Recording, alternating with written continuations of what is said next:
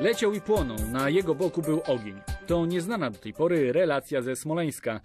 Do świadka katastrofy dotarli dziennikarze Gazety Polskiej i Telewizji Republika. Wraz z nowymi informacjami wraca pytanie o rzetelność rosyjskiego śledztwa, bo świadek, do którego dotarli polscy dziennikarze, nigdy nie został przesłuchany.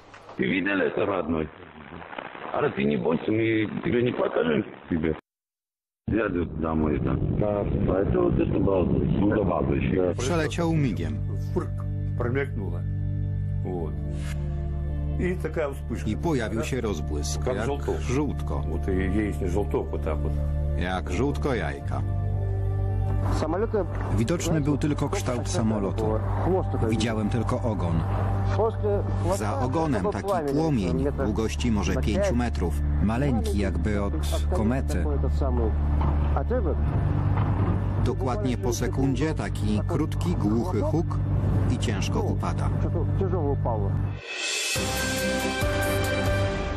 To wypowiedź, o której mowa była w materiale na samym początku, później wypowiedzi znane już z filmów e, Anity Gargas i Rafała Dzięciołowskiego, Anatomia Upadku, świadkowie, którzy nie byli nigdy do tej pory przesłuchiwani. Witam serdecznie gości w studio, Adam Andruszkiewicz, Kukiz 15, Marek Suski, Prawo i Sprawiedliwość, Jarosław Dobry Urbaniak, Platforma Obywatelska. Dobry wieczór. Szanowni e, Państwo, Szanowni Panowie, Panie Pośle, jak Pan patrzy na ten dylemat? Rosjanie zapewniali nas o tym, że w kwestii identyfikacji wszystko zostało e, sprawdzone, wszystko zostało zrobione prawidłowo i że rzetelnie. Dziś wiemy, że to jest nieprawda. Jaką mamy pewność, że w kwestii innych ustaleń nie okłamywali nas również? My żadną.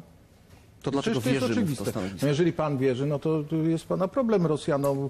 Ja osobiście nie wierzę od dawna, moi przodkowie nie wierzyli. Jak się dobrze uczy historii, no Rosjanom nie należy wierzyć. To dlaczego raport MAK jest zbieżny z raportem e, e, Polskiej Komisji Millera? Dlaczego Jerzy Miller, minister w waszym rządzie, mówił, instruował członków Komisji Polskiej, że zbieżne mają być polskie wnioski z tym, co ustali rosyjska komisja? Proszę pana, Dlaczego? to, jest, to są już zupełnie inne. Polska komisja ustaliła to, co ustaliła. Ja rozumiem, że PiS, że TVP Info ma problemy z tym, że podkomisja smoleńska nie ma żadnych ustaleń, że pan Berczyński ucieka do Stanów Zjednoczonych, że na podstawowe pytania, które dzisiaj padły w Sejmie, e, komisja podsmoleńska nie umie odpowiadać, no to pojawia się świadek, który nagle widzi, widzi ogień. No to jest nadal Rosjanin ja podchodzę do takich, takich rewelacji z dużym dystansem, dopóki nie zostaną e, sprawdzone. Panie pośle, jak rozumiem, w takim razie nie ma pan również zaufania i nie wierzy pan w efekty rosyjskiego śledztwa, pan, tak? ja już- które mówi o ja tym, że jestem- samolot rozbił się jestem o dużo- brzozę i że do momentu Jestem uderzenia w dużo ziemię starszy był... od pana, człowieka, sprawny. którego nie znam, którego pierwszy raz widzę. Wchodząc do studia,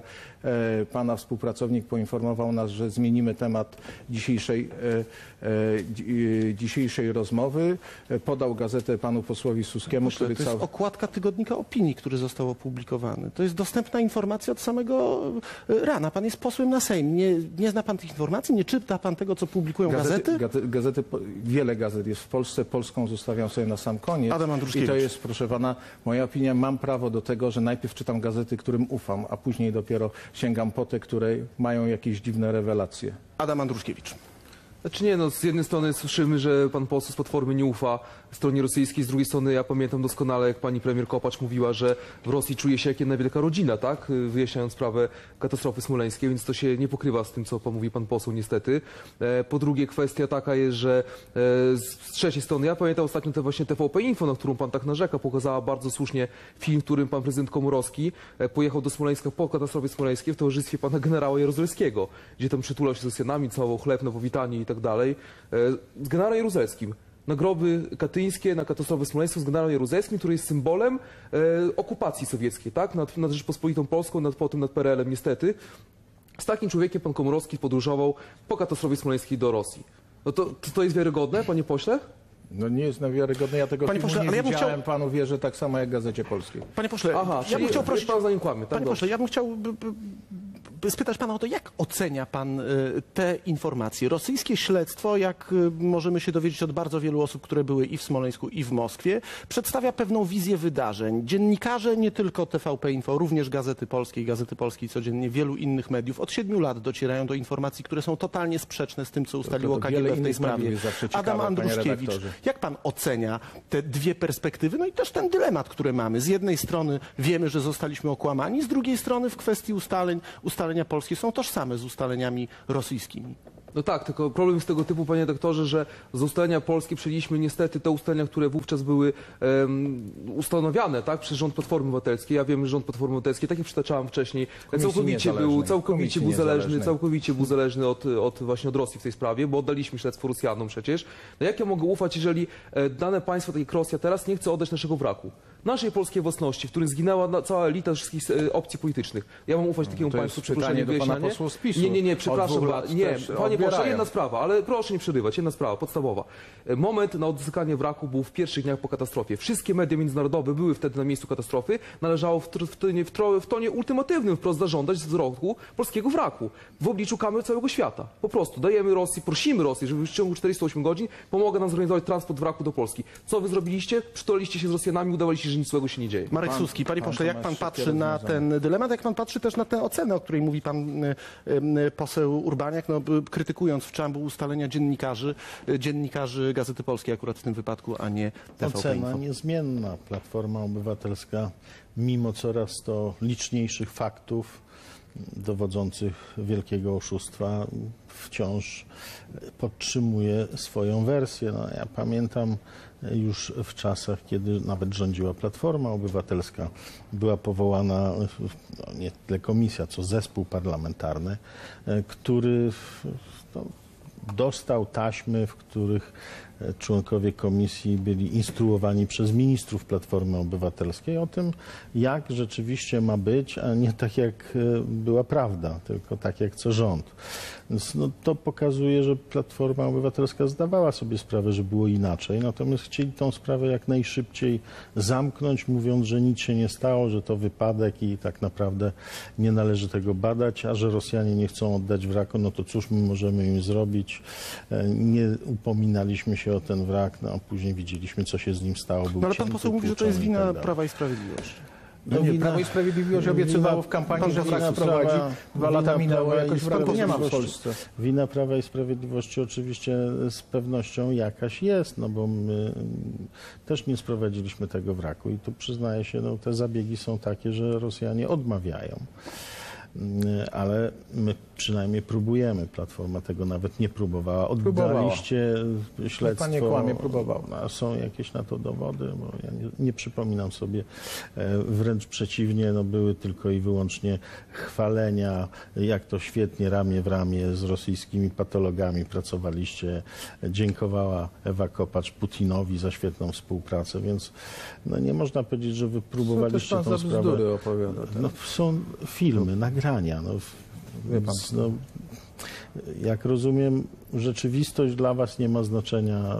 Ważne jest to, co Wy opowiadacie ludziom, wciskając jakąś bajeczkę. Ale niestety prawda jest tragiczna. Wasze zachowania były haniebne. Można powiedzieć, że to, co się stało, oczywiście wielka katastrofa, wielka tragedia, ale sposób, w jaki żeście to traktowali, jak cieszył się e, niestety, już teraz nie, ale były prezydent, wtedy marszałek, e, jak e, miał czas, żeby jeszcze póki nie było nawet aktu zgonu prezydenta profesora świętej pamięci Lecha Kaczyńskiego, wysyłać swoich siepaczy do kancelarii prezydenta i przejmować raport o likwidacji WSI, więc No no, nie, na proszę, to, to, na pan to nie czas żartuje, niech pan porozmawia ze swoim kolegą Macierewiczem, Ja który ze Smoleńska ja uciekł po prostu. Zjadł obiad i uciekł. Nie, nie, nie, Macie tyle grzechów w sprawie Smoleńska, Uciekł, tyle tak. kłamstw na swoim sumieniu w sprawie Smoleńska. Ja panu- Bomby ja panu termobaryczne, tam- magnetyczne, elektromagnetyczne, sztuczne. w. Smoleńsku I uciekaliście. E, I nie uciekaliśmy, tylko po prostu nie mielibyśmy jak wrócić. W jaki sposób mieliśmy wrócić? Był pociąg wynajęty, zajęty pociąg wracał, musieliśmy wracać. To i to jest ta różnica. Bo to jest Uciekaliście do Polski, politycy Ewa Kopacz pole, po, po, Tak, poleciała tak. tam To, to, jest argument, który bardzo często politycy Platformy samolot, Obywatelskiej e, podnoszą. ja mam rozumieć tego argumentu, który pan podniósł w tej chwili i w zasadzie bardzo często jest przez polityków waszej partii podnoszony, że w czasie, kiedy Platforma Obywatelska rządziła w Polsce w imieniu państwa polskiego, obowiązki państwa polskiego, premiera, ministrów, ministra spraw zagranicznych powinni przejąć wówczas posłowie opozycji? Tak mam rozumieć to, co pan mówi? A ty, ty jakieś... nie, Czyni pan, zarzut z rozumie. tego, czyni pan zarzut z tego, że delegacja, Sugeruję- która była wówczas w Smoleńsku, wróciła z do Polski. No więc jak mam rozumieć Mogę ten argument, podjąć, który przed chwilą... ale nie na antenie. Jak mam rozumieć, panie pośle, ten argument, który pan przed chwilą podniósł? Nie za bardzo rozumiem związku między tym argumentem a tym, co pan mówi. Załóżmy w takim razie, że widzowie rozumieją związek i rozumieją to pytanie. Panie pośle, to jeszcze jedna w takim razie kwestia. W naszym studio jeden z polityków Platformy Obywatelskiej powiedział, że nie mamy do czynienia z, z, z bezczeszczeniem fragmentów e, ciał w wyniku tego, co e, zdarzyło się po ostatnich ekshumacjach. Pan się zgadza z e, opinią senatorów Platformy Obywatelskiej i wielu polityków Platformy, że to nie było zbezczeszczenie ciał? Ja się zgadzam z opinią specjalistów, którzy takimi sprawami się zajmują, że w przypadku takiej katastrofy i takiej wymieszania ciał, to co się stało, jest sprawą, tu jest bardzo brzydkie słowo, normalną, Czyli nieuprawnione się. są argumenty takie, że to było zbezczeszczenie ciał? Nieuprawnionym są argumenty takie, że pan prokurator, który był wtedy w Moskwie, który miał władzę podjąć pewne decyzje, w tej chwili a, stoi przed kamerami, przed mikrofonami i czyni zarzuty, jeszcze to w sposób bardzo ale to bardzo obrzydliwy, e, mówiąc o ciałach osób, które zginęły w e, katastrofie smoleńskiej, w tym moich przyjaciół. Panie pośle, czy czynienie wam zarzutu i czy czynienie zarzutu o tym, że ciała ofiar katastrofy smoleńskiej zostały zbezczeszczone, to jest zarzut uprawniony czy nieuprawniony? To jest zarzut nieuprawniony. To jak pan skomentuje fakt, że dzisiaj e, serwis Sputnik News, propagandowy kremlowski e, serwis, e, podaje następującą informację. Ambasador Rosji w Polsce Siergiej Andriejew powiedział izwiestiom, że oskarżenia o zbezczeszczenie fragmentów ciał są absolutnie niedopuszczalne. Dokładnie ten sam punkt widzenia co pański. Nie konsultował się ze mną pan minister. A czy nie niepokoją pana takie na Może przykład SMS-a cytaty? W wysłali, trakcie co prowadzenia mówić. czynności No procesowych w zakresie identyfikacji zwłok strona polska nie zgłaszała pretensji i uwag wobec strony rosyjskiej dotyczącej przeprowadzonych czynności i ich rezultatów. Zgłaszaliście takie wątpliwości? Czy nie? Proszę pana prokuratora zapytać. W ogóle to pan chyba z- złego człowieka z- w tej sprawie zaprosił. Przecież tutaj w studiu o, obok zaraz była pani marszałek Dolniak, y, żona y, Grzegorza Dolniaka, który zginął w katastrofie smoleńskiej. Może w taki sposób pan z panią marszałek porozmawiał na ten temat. Szanowny Czy panie brakuje pośle, panu odwagi? Szanowny panie pośle, Mnie, szanowny który panie z tą pośle. sprawą nie jestem w ogóle związany, zadaje Ja pan wiem, tego pan, ja nie wiem, czy pan pytania. poseł wie, ale ja na przykład to wiem, że pani marszałek Dolniak odmawia rozmów y, na ten temat i nie rozmawia na ten temat y, i jestem w stanie to zrozumieć. No, Ale pan jest ja politykiem. pan jest politykiem, jest pan, jest, pan, jest pan odpowiedzialny za to, co czyniła pan. pańska partia, a ja pytam o to, bo dziś propagandowy serwis, sowiecki, rosyjski serwis Sfu- Sputnik News w odpowiedzi na te ustalenia podaje tego rodzaju narrację. Ona jest tożsama z waszą narracją. Czy pana to nie niepokoi? Spytam po raz ostatni. Wy jaką naszą narrację? Platforma Ja tylko, Obywatelska. ja tylko mówię Platformą. tyle, że, że specjaliści, ludzie, którzy zajmują się tego rodzaju sprawami, którzy mają z tym do czynienia, w odróżnieniu od pana i ode mnie, twierdzą, że przy tego rodzaju katastrofach są nieuniknione tego, życzu, e, te, te, tego rodzaju No, wypadki. Adwokat Marek rzeczy, Suski. rzeczywiście mm, można powiedzieć tak. Jest straszna katastrofa. Ciała są poszatkowane. I nawet jeżeli Rosjanie nie byli w stanie, bądź nie chcieli, albo może nawet to zrobili złośliwie, trudno tutaj powiedzieć, jak oglądaliśmy filmy z jakąś złością, nienawiścią, tłukli szyby we wraku i później jak tutaj był gest zwycięstwa, to można przypuszczać, że być może oni to zrobili złośliwie. Ale wy o tym wiedzieliście, kiedy zwłoki i szczątki naszych przyjaciół wróciły do Polski, trzeba było zrobić ekshumację. Mamy w Polsce pracownie genetyczne, można było zidentyfikować każdy kawałek i nie byłoby takiej sytuacji, że się okazuje, że w trumnach są zamienione ciała, że są trzy nogi, dwie miednice e, i tak dalej.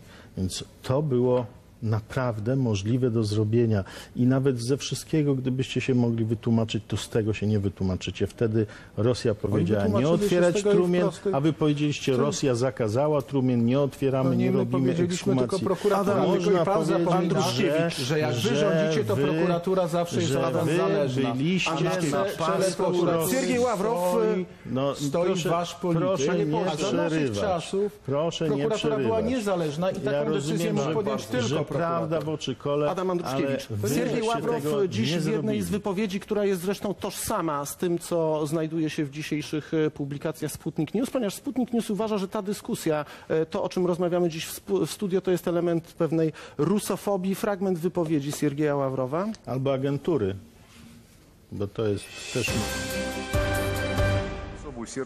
Szczególnie gorliwe są obecne władze Polski. Trudno znaleźć logikę w decyzji o wstrzymaniu umowy o małym ruchu granicznym z regionem kaliningradzkim. Bluźniercze, nie mogą użyć innego słowa, są próby ustawodawczego uzasadnienia znoszenia pomników sowieckich żołnierzy wyzwolicieli. A przecież państwo i naród polski zawdzięczają swoje istnienie właśnie bohaterskim czynom naszych żołnierzy. Andruszkiewicz, komentarz do tych słów. No to jak to komentować, panie rektorze? No my swoją wolność zawdzięczamy naszym rodakom, którzy przelali mnóstwo krwi za Rzeczpospolitą, a na pewno nie sowieckim żołnierzom. To jest bzdura, co mówi e, tutaj pan minister te Ławrow, tak? E, nigdy w życiu takich słów nie słyszałem, nie chciałbym takich słyszeć słów jako polski polityk.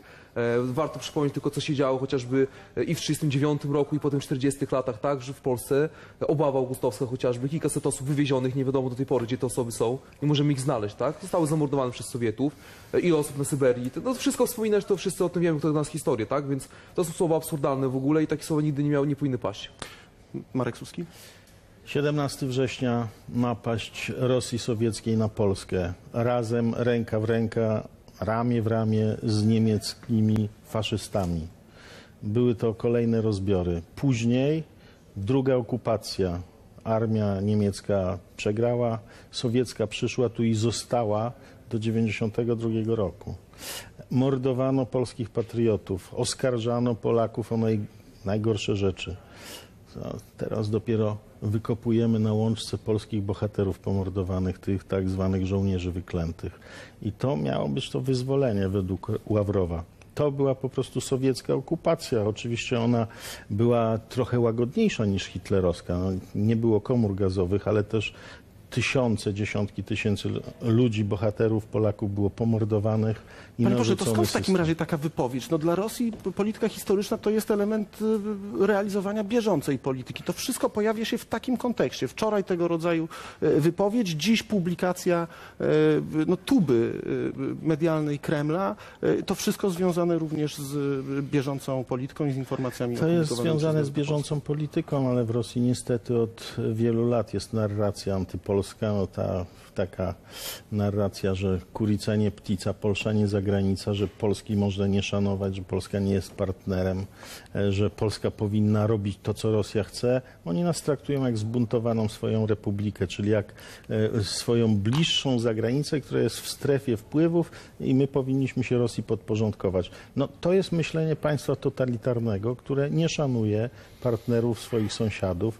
No niestety Rosja nie jest państwem demokratycznym i stąd te wypowiedzi. Jarosław Urbaniak, jak skomentuje te słowa? Też zarzuty dotyczące małego ruchu granicznego z obwodem kaliningradzkim. To akurat jest chyba najmniej ważne, a to, co opowiada Ławrow, wpisuje się w wieloletnią jakby e, opowieść o tym, co się działo w czasie II wojny światowej na terenach e, Polski. I prawdopodobnie trudno powiedzieć w tej chwili, bo to trzeba kilka dni zaczekać, czy Ławrow mówił na zewnątrz, czy do środka, bo przecież sentyment Rosjan po II wojnie światowej i ta świadomość, że e, te 600 tysięcy e, czerwonoarmistów na terenie e, obecnej Polski w, w walkach z faszystami niemieckimi zginęła, to trafia do Rosjan.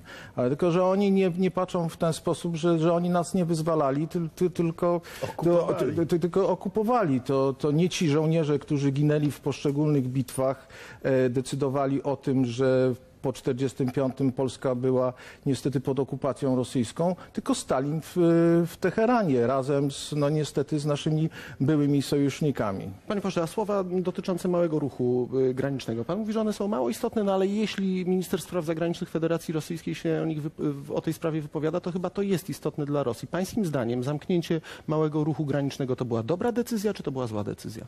Nie, nie, nie mam zdania na ten temat i myślę, że to jest jakby przyczynek, bo Ławrow nie będzie atakował atakował e, rządu PiSu w jakiś szczególny sposób. Drobny e, ruch graniczny jest e, właściwie ważny tylko i wyłącznie lokalny. Ławrow to jest To naprawdę uruchomienie polityk, w takim razie, jeśli polityk pan nie chce powiedzieć, czy to była dobra, czy zła decyzja zamknięcia, to spytam inaczej. To przeciwników, ale daj, mi pan, tak, to przeciwników należy szanować i Ławrow to jest naprawdę bardzo sprawny dyplomata międzynarodowy. To czy w takim razie I otwarcie on cały czas pamięta, że ruch graniczny między, między, między naszą północno-wschodnią granicą a obwodem kaliningradzkim się ma nijak przy takich sukcesach, jak podpisanie tego trzyletniego ogromnego kontraktu na dostawę ropy przez pana prezesa Jasińskiego jeszcze niedawno y, przyjaciela i polityka PiSu. To jest istotne dla Rosji. Gdy cały świat przestał kupować, y, przestawał kupować ropę w Rosji, przykręcając im kurek gospodarczy, Polska po prze- przejęciu władzy przez PiS e, podpisuje ogromny, zbyt duży kontrakt na dostawę Dobra ropy do Orlenu. Uruchomienie małego ruchu granicznego. od kogo możemy kupić ropę? E, tak, Nie, no. o kraju, e, od, od krajów arabskich bardzo dużo. Jak- By, jak ją ich przywieziemy tankowce do Polski? mieściły się na, Ba- e, na Bałtyku, e, dopływały do polskich portów. No przestały Jak ją- dopływać, jak ją ponieważ przywieziemy? teraz już mamy szczęśliwie od naszych przyjaciół Rosjan, co wy Panie pośle, załatwiliście ropę. Ostatni Naftoport raz spróbuję, ma może niestety uda mi się uzyskać od ograniczoną Pana odpowiedź. Czy przepustowość. decyzja o otwarciu małego ruchu granicznego pomiędzy Rosją a Polską, bezwizowego ruchu z obwodem kaliningradzkim, to była decyzja dobra czy zła? Z tego co ja wiem, dobra w pewnych aspektach, w pewnych złach. Myślę, że to należy zapytać ludzi z północy, z północnych, wschodnich krańców Polski i niech oni odpowiedzą, czy rzeczywiście to było dla nich korzystne i dla rozwoju gospodarki województwa warmińsko-mazurskiego, czy nie. Jedni Adam twierdzą, że tak, czy nie. Ja A Pan twierdzi? nie, nie, mam za mało danych na ten temat. Po tylu latach Adam Andruszkiewicz na koniec po w takim jakich razie. ilu latach? To samo pytanie. Znaczy nie, no to jest pytanie, to, to mieszkańcy sygnalizują, że na tym tracą, natomiast trzeba pytać też polskie służby, tak? Jakie były zagrożenia z tego wynikające i myślę, że tutaj trzeba ufać polskim służbom w tej sprawie. Pierwsza część programu minęła 20 za nami. Dziękuję uprzejmie Panom za to spotkanie. Państwa bardzo proszę, zostańcie z nami. Trwa program Minęła 20. Bank PKO, czyli drugi pod względem wielkości bank w Polsce, wraca do macierzy. PZU i Polski Fundusz Rozwoju przejęły od Włochów ponad 30% jego akcji, dzięki czemu ponad połowa sektora bankowego w naszym kraju ponownie znajduje się w polskich rękach. Mając większość sektora bankowego w polskich rękach, możemy lepiej kontrolować politykę kredytową. W sensie banki mogą kontrolować politykę kredytową i prowadzić ją w pełnym interesie przedsiębiorstw polskich. W sytuacji odzyskania własności oddzielamy te banki od ryzyka związanego z odsysaniem kapitału e, w sytuacji zagrożenia firmy matki. Prezes PZU Paweł Surówka, witam serdecznie panie prezesie. Panie prezesie, część e, ekonomistów twierdzi, że dzisiaj e, zakończona, dzisiaj podsumowana transakcja to nie jest udomowienie, tylko nacjonalizacja PKO SA. Jak pan to odpowie? Czytałem o tym w niemieckiej gazecie. No oczywiście nie jest to prawda, ponieważ po pierwsze Francu- Włosi sprzedali nam ten bank i tak naprawdę to do końca nie wierzyliśmy, że będą chcieli go sprzedać. Zapłaciliśmy na to cenę rynkową i w tym momencie bank, bank PKO SA wraca do Polski, ale wraca do podmiotu giełdowego, którym jest PZUSA, który zapłacił za to giełdową stawkę, co prawda bardzo korzystną dla nas, ale równocześnie w pełnym poszanowaniu wszelkich reguł y, rynkowych i Włosi tutaj wyszli ale wyszli rynkowo i tak naprawdę to im zależało na tym, żeby ten bank Panie sprzedać. prezesie, czy państwo Polska, jeśli w ogóle można użyć tego sformułowania, zapłaciło za ten bank więcej niż tyle, ile uzyskało w momencie, kiedy sprzedawało bank lata temu, czy mniej? Wydaje mi się, że zapłaciliśmy bardzo dobrą cenę. Jeżeli porównać cenę, którą PZU zapłaciło razem z PFR-em w momencie podpisania tej transakcji, a dzisiejszą wycenę, to jest ona znacznie wyższa. Jeżeli brać do tego jeszcze dywidendę, którą dostaniemy za, za, ten, za tamten rok. Równocześnie trzeba oczywiście uznać, że e, banki zagraniczne też włożyły pewien wkład e, w ten nasz rynek, zainwestowali w PKO SA również. Natomiast myślę, że jest to odpowiedni moment, żeby ten bank wrócił do Polski. Jest to dobre, pewne przywrócenie też pewnej równowagi, którą istnieje w wszystkich innych krajach, które obserwujemy, a właśnie w Polsce nie. Panie prezesie, są państwa, w których Stany Zjednoczone, Niemcy, to są państwa, w których y, do banków y, z tego państwa należy około 90% sektora Dokładnie. bankowego. W Polsce to jest dużo niższa y, procentowo liczba. Na ile to się zmieni i na ile to zwiększenie udziału polskich podmiotów w sektorze bankowym polepszy sytuację gospodarczą tego, co interesuje miliony widzów, ich własnych portfeli? Czy to ma wpływ na to, ile mamy pieniędzy, czy nie? Tak, ta transakcja, którą teraz dokonaliśmy, doprowadzi po raz pierwszy do tego, że banki, które opierają się o rodzimy kapitał, po raz pierwszy będą w większości. Ponad 50% sektora teraz będzie należał do lokalnych banków. Jest to w dalszym ciągu darzy o wiele niżej niż w krajach na przykład jak Niemiec albo Stany Zjednoczone, które możemy obserwować. Natomiast jest to znacznie lepiej. A dlaczego jest to ważne? Myślę, że dobrym przykładem jest kryzys finansowy, który wszyscy przeżyliśmy. Był to czas, w którym banki przywiozły do Polski swoje własne problemy. Banki niemieckie francuskie, włoskie, one przede wszystkim skupiły się na tym, żeby kapitał przyciągnąć do tych krajów, które dla nich były strategiczne. Znaczyło to, że zabrakło kapitału dla polskich przedsiębiorstw i w pewnym sensie ten kryzys przyszedł do nas, mimo że nie byliśmy nim tak bardzo dotknięci. To był moment, w którym chociażby PKO BP bardzo mocno wkroczyło w akcję kredytową i gdyby nie właśnie ten polski bank, wówczas polskie spółki nie miałyby dojścia i do, do kredytu. Liczymy na to, że teraz razem z PKO SA te dwa banki będą mocnym fundamentem, który właśnie w czasie kryzysu będzie stabilizował e, polską gospodarkę, bo mówiąc wprost, te banki nie mają gdzie uciec. No dobrze, ale czy w takim razie z punktu widzenia, ja jeszcze raz do tego wrócę, to jest pewna perspektywa ewentualnego zagrożenia, ewentualnego bezpieczeństwa, ale czy z punktu widzenia tych osób, które na przykład mają konta w PKO SA, albo z tych osób, które ubezpieczają się w PZU, ta transakcja coś zmieni? Czy niższe będą stawki y, ubezpieczenia, czy niższe będą opłaty za prowadzenie y, kont, czy niższe będą koszty kredytu? Sądzę, że tak. I dlaczego? Y, Pierwsze pytanie jest, y, dokąd idą te inwestycje? W tym momencie dywidenda, która wychodzi z PKO SA, która jest wygenerowana, ona nie będzie szła za granicę. Ona zostanie tutaj w kraju, będziemy ją reinwestowali. Jako PZU sami narzuciliśmy sobie bardzo duży rygor, jeżeli chodzi o inwestycje w nowe technologie, unowocześnienie naszej spółki. Do tego samego będziemy namawiali PKO SA. Odczują to klienci. Jest to bank, który w pewnym sensie nie wykorzystał pełnego potencjału technologicznego, który widzimy. Liczymy na to, że PKO SA teraz będzie znacznie bardziej inwestował, a to znaczy lepsze produkty, lepiej dostosowane i bardziej przystępne. Przecież wszyscy wiemy, że dzisiaj bankowość nie polega tylko na tym, że idzie się do oddziału, tylko wszystkie produkty powinny być też dostępne online i to bardzo szybko. Panie prezesie, no to, y, to program, w którym dyskutujemy o polityce. Być może pan nie będzie chciał odpowiedzieć na to pytanie. Nie wiemy, ale y, media spekulują, że y, obecna szefowa kancelarii prezydenta dołączy do y, zarządu y, PZU SA. Spodziewa się pan takiej decyzji? Tak jak pan powiedział, media spekulują, a na temat spekulacji mediowych niedobrze jest dyskutować, jeżeli się prezesem dużej spółki. Mówił y, prezes y, PZU w programie Minęła 20. Panie prezesie, dziękuję uprzejmie za tę wizytę. A my dzisiaj tak, wysłaliśmy naszych reporterów y, do Sejmu. Oto co przynieśli. Siergiej Ławrow, minister spraw zagranicznych Federacji Rosyjskiej, stwierdził, że Polska zawdzięcza swoją wolność Armii Czerwonej. Jak pan skomentuje te słowa? No, pan Ławrow doskonale wie, że tak jak Armia Czerwona, tak i Polska, tak i Francja, e, Wielka Brytania byliśmy uczestnikami wielkiej koalicji antyhitlerowskiej i Armii Czerwonej przypadł w udziale ten odcinek frontu, który biegł przez Polskę i w tym względzie Armia Czerwona wyzwalała Polskę spod okupacji niemieckiej, jednocześnie mając już przygotowaną okupację sowiecką, która trwała 45 lat. Wszyscy Polacy wiemy, że z chwilą zakończenia II wojny światowej dla nas, dla naszego kraju, dla Polaków e, nie było to zakończenie okupacji. Jedna okupacja została zastąpiona przed drugą, przez drugą. Dzień dobry, panie pośle. Chciałem się zapytać, jak pan się odniesie do wczorajszych słów Siergieja Ławrowa? Chciałem się zapytać, czy po dzisiejszej komisji odnośnie mediów będziecie odpowiadać na pytania dziennikarzy TVP Info?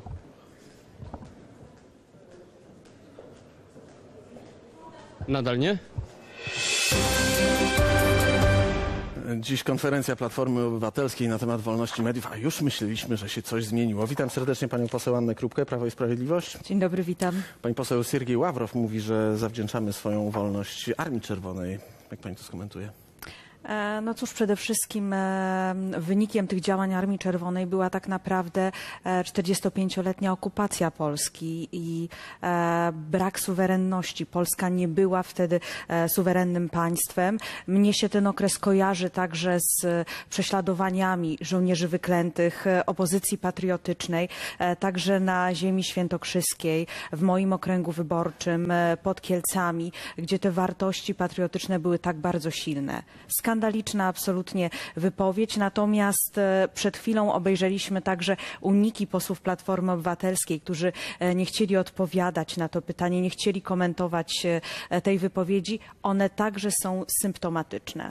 No dobrze, pani poseł, wspomniała pani o pani okręgu wyborczym. Dzisiaj informowaliśmy na naszej antenie o tym, że kampus Głównego Urzędu Miar w Warszawie będzie miał swoją nową inwestycję. Inwestycję w Kielcach 50 milionów euro, 200 milionów złotych. Dlaczego to jest istotna sprawa dla mieszkańców również innych regionów, a nie tylko Kielc? E, To jest przede wszystkim przejaw zdrowej e, decentralizacji. E, Dzisiaj większość urzędów ma swoje główne siedziby w Warszawie. Sprawdzałam na stronie sejmowej, takich urzędów jest 74. Dwa urzędy jedynie mają siedziby poza Warszawą i oczywiście główna siedziba Głównego Urzędu Miar i Wag nadal będzie w Warszawie, natomiast ważny kampus laboratoryjny, zespół badawczych laboratoriów będzie mieścił się w Kielcach.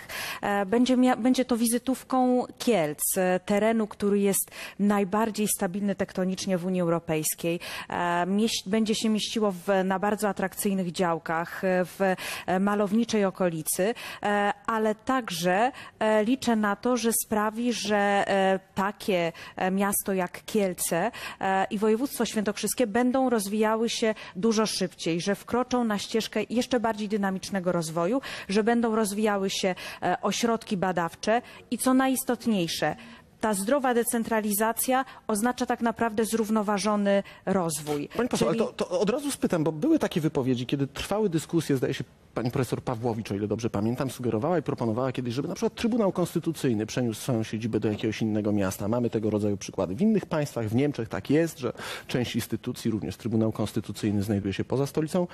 No to wówczas to się bardzo nie podobało opozycji. Jak pani uważa, czy w takim razie w tej kwestii również spotkacie się z krytyką ze strony waszych oponentów politycznych? E, My stawiamy, tak jak powiedziałam, na zrównoważony rozwój e, i naprawiamy te błędy, które zostały popełnione przez e, ostatnie lata rządów koalicji PO-PSL, kiedy oni odwracali się plecami do takich regionów jak, jak województwo świętokrzyskie czy miast jak Kielce i inwestowali tylko i wyłącznie w wielkie metropolie, takie jak Warszawa, Kraków, Poznań. My uważamy, że każdy, niezależnie od tego, od miejsca zamieszkania, powinien mieć równe szanse, e, a właśnie e, umiejscowienie tego centralnego kampusu e, badawczego GUM da nowe szanse Kielcom, tak na nowe miejsca pracy w samych laboratoriach, jak i na miejsca pracy w otoczeniu laboratoriów, bo będziemy stawiać także na startupy. Liczymy, że będą rozwijały się także wokół tego, tych, tego zespołu laboratoriów, będą rozwijały się także nowe firmy. Anna Krupka, poseł Prawa i Sprawiedliwości. Dziękuję Pani uprzejmie za wizytę w studiu. Bardzo Minęła dziękuję. 20. Państwu dziękuję również. Jutro się widzimy w tym samym miejscu, a jutro, jutro jest czwartek. Do zobaczenia.